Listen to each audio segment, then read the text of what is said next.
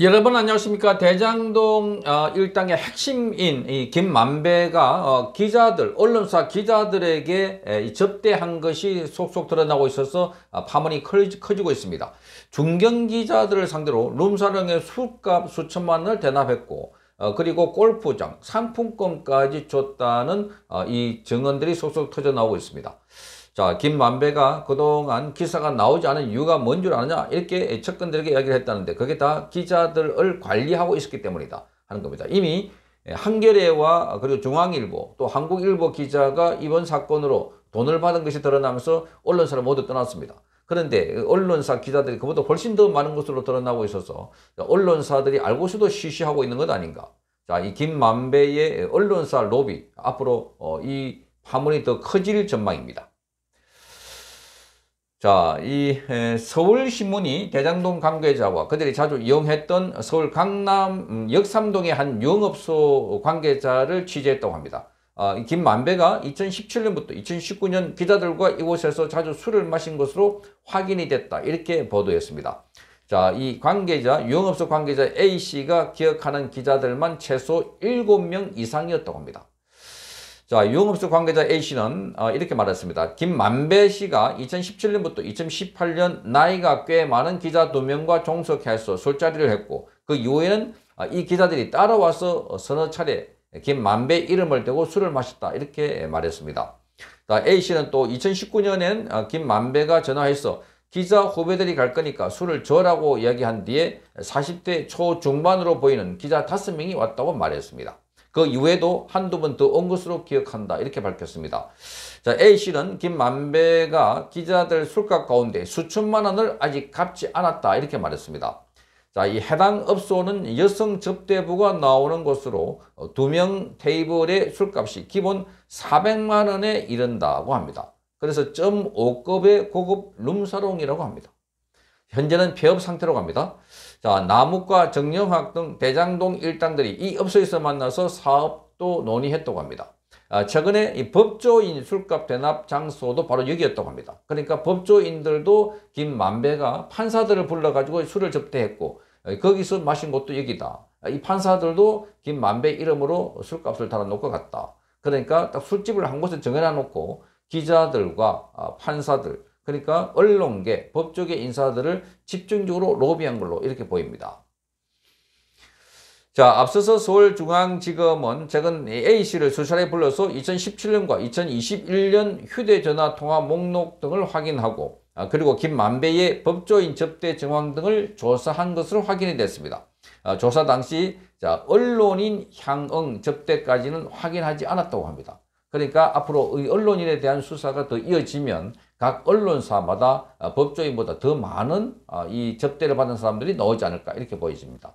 그동안 김만배가 어, 이 대장동의 불법 행위를 저지르면서 어, 기자들, 언론의 입을 막는 역할을 많이 해왔기 때문에 그래서 어, 많은 사람들이 이렇게 김만배의 로비를 받았을 것이다. 김만배도 본인이 현직 기자였던 상황에서 이, 이 사업을 추진했기 때문에 아, 그래서 기자들의 생리를 너무나 잘 알고 있고 그래서 기자들의 입을 막기 위해서 로비를 한 것으로 이렇게 보입니다.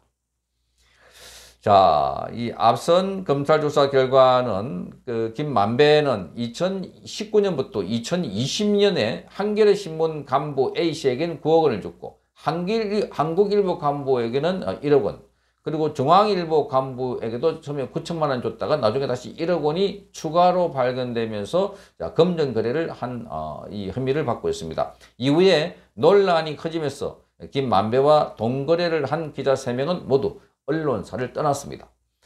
또 김만배는 어, 기자 관리 명목으로 남욱과 정영학 회계사 등에서 2016년부터 2020년 명절 때마다 모두 3,200만 원어치의 상품권을 받아가고 또 경기도의 용인에 있는 T 골프장에 VVIP로 매월 초에 10회 이상의 예약을 해놓고 기자 등을 불러서 골프를 접대했다고 합니다. 자, 김만배는 평소 대장동 일당에게 대장동 기사가 나오지 않는 이유는 내가 계속 기자들을 관리하고 있기 때문이다. 이렇게 말했다고 합니다. 자, 그러니까 기자들을 관리했다. 음, 지금 김만배가 관리한 기자가 얼마나 될까? 어, 굉장히 많은 것으로 보입니다. 어느 한 곳에라도 기사가 나오면은 쫙 퍼지기 때문에 거의 대부분 주요 메이저 언론, 즉 신문과 방송, 통신들은 다 김만배가 로비를 하지 않았을까.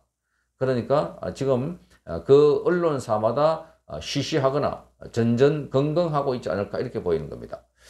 자, 이미 발각된 언론사들은 뭐 이렇게 안으로 덮으려고 하다가 뭐 검증 거래였다. 뭐 사적인 검증 거래고 빌린 차용증이 있었다. 이렇게 이야기했지만 그 차용증도 김만배가 이미 녹취록에 드러난 바에 따르면은 자, 이 모든 어, 거래를 하고 난 뒤에 기자들에게 돈을 주고 난 뒤에 카카오톡으로 카톡으로 어, 차용증을 받았다고 합니다. 그게 무지 많다. 아, 이렇게 녹취록도 나옵니다. 그러니까 지금 이 기자들이 로비를 받은 이 부분들도 철저하게 수사를 해서 자, 썩어 빠진 언론을 개혁해야 된다.